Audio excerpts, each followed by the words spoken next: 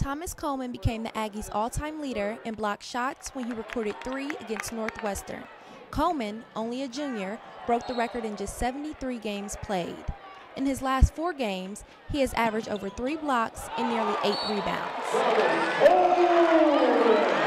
It is no coincidence that Coleman's outstanding abilities defensively have landed him MEAC conference leader in block shots.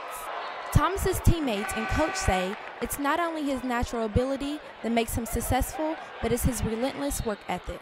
He's just been a tremendous shot blocker, and he did a great job again today. He's got super timing, he's got long arms, and he does a good job of blocking shots. So he brought that with him. He's been continuing to improve on it, putting himself in position to block shots, but he's done a tremendous job. Uh, Thomas is always able to read shots coming off uh, players' hands. It's been since I got here, it's just been the easiest thing to him.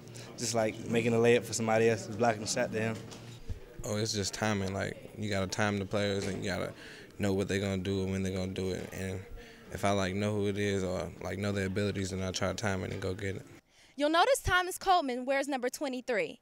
That's because he idolizes who he says is the greatest player of all time, Michael Jordan. But his admiration for MJ doesn't stop with just basketball. Like a sneakerhead, I like a lot of Jordans. I have a, I have a lot of Jordans, like probably 30 something pair, but I have a couple Nikes. And, but yeah, we real sneakerheads like me and Jared.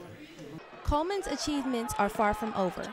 He has the remainder of this season and a full season next year to make his mark in Aggie basketball. It's just something I've always wanted to do. Like when I was little, I see like big people block shots, and I knew I was gonna be big, so I just wanted to be just like them. For your Aggie Sports Report, I am Ashley Washington.